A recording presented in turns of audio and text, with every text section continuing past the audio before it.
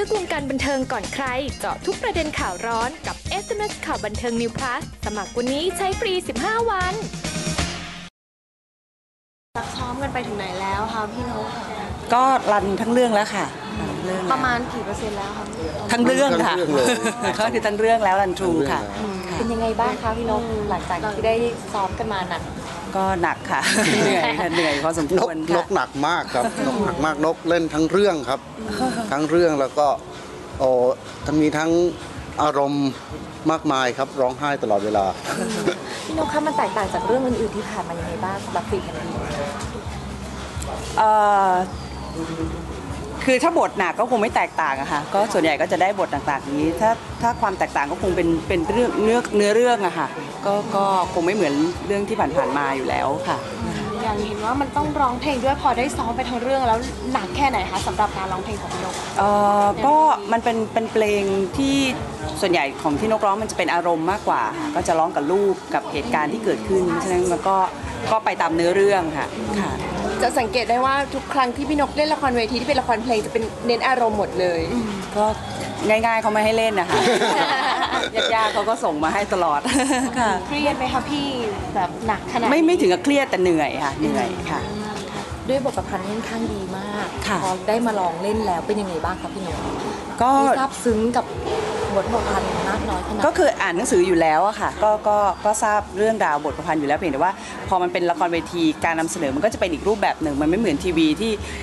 ค่อยๆ ถ่ายไปมีทุกฉากมีทุกคนมีทุกเรื่องราวในหนังสือใช่ไหมฮะแต่ว่าพอเป็นละครเวทีใน 3 ชั่วโมงกว่าเนี่ยมันก็คงต้องรวบรวมช่วงเวลาที่สำคัญสำคัญๆเพื่อให้ร้อยเรื่องกันแล้วแบบอยู่บนเวทีได้แล้วเข้าใจแล้วก็มีความสุข แล้วก็ตอบข้อความทุกอย่างที่หนังสือได้บอกไว้อะไรอย่างเงี้ยค่ะ งานกับน้องๆเป็นยังไงบ้างคะโอ้ยน้เด็อกงที่แบบๆน้องๆเขามีความสามารถขยันมากครับเอ่อคือต้องบอกว่าทุกคนตั้งใจแล้วก็เต็มที่กับสีแผ่นดินอยู่แล้ว โดยเฉพาะเอ่อนกเองก็ไม่มีต้องถือว่าสุดยอดอยู่แล้วนะครับ ไม่ว่าจะเป็นกันไม่ว่าจะเป็นมัดหมีอาหรือตูมตามหรือสิงโต ทุกคนเต็มที่กับมันแล้วก็เอ่อทุกคนมีความสามารถมากครับเออละครพีเรียดเนี่ยทำมาหลายครั้งแล้วในในความคิดของพี่สอง คนที่ว่าเสน่ห์ของละครพีเรียดอยู่ที่ตรงไหนคะพี่หนุ่ม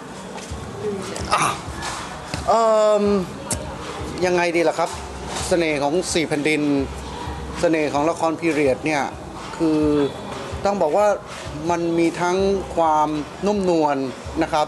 มีทั้งเอ่อความผูกพันของความเป็นไทย เกี่ยวกับครอบครัว เกี่ยวกับสถาบันนะครับ ซึ่งผมเชื่อว่าไม่มีที่ไหนในโลก ซึ่งมีความ รักและความผูกพันของครอบครัว ได้แน่นแฟนความผูกพันต่อ สถาบันพระมหากษัตริย์ได้แน่นแฟนและความผูกพันต่อ ประเทศชาติได้แน่นแท้เท่ากับความเป็นความเป็นไทยความเป็นไทยโบราณนะครับก็ก็เหมือนกันนะคะก็คือเอ่อบทประพันธ์เรื่องนี้มันแสดงถึงความเป็นไทย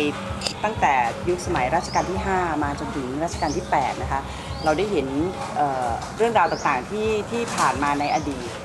การอบรมสั่งสอน การมีขนบธรรมเนียมประเพณีต่างๆ ที่บอกไว้ คือไม่ได้แปลว่าคนที่อยู่ในวังจะต้องเป็นคนที่แบบดีสมบูรณ์พร้อมทุกอย่างแต่ว่ามันมันมันบอกถึงสังคมมากกว่านะคะ แล้วก็สิ่งที่ได้รับเรารู้สึกว่าเออมันเป็นเรื่องมันเป็นเรื่องของเรา มันเป็นเรื่องของความเป็นไทยทุกอย่างที่ที่เราสามารถซึมซับได้ ก็ต้องถือว่าเป็นแบบบทประพันธ์ เป็นวรรณกรรมอีกชิ้นหนึ่งที่ถือว่าเป็นประวัติศาสตร์ของเราด้วยนะคะเพราะมีเรื่องราวประวัติศาสตร์ด้วย แล้วก็มี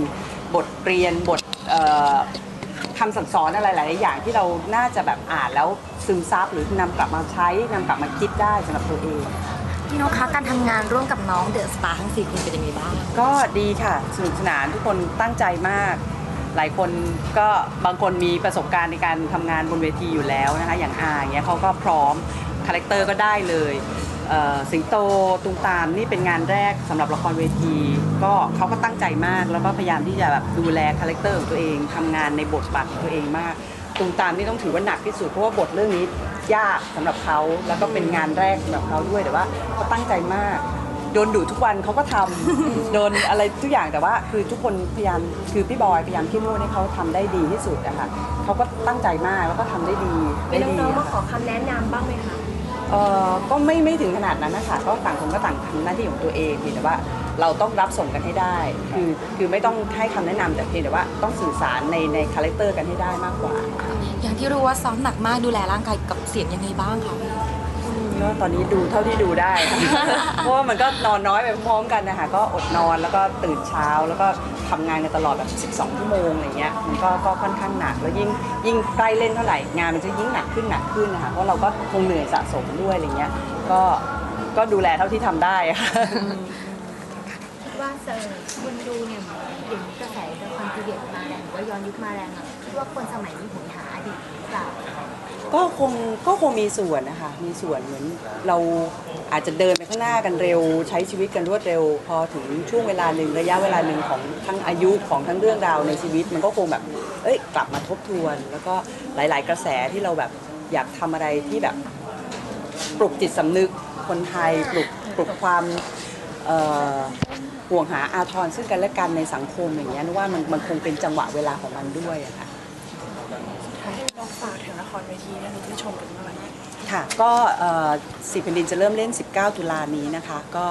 เชื่อว่าหลาย ๆ คนคงรอติดตามอยู่แล้ว แล้วก็เราทุกคนก็ทำงานหนักเพื่อที่จะให้งานชิ้นนี้ออกมาดีที่สุด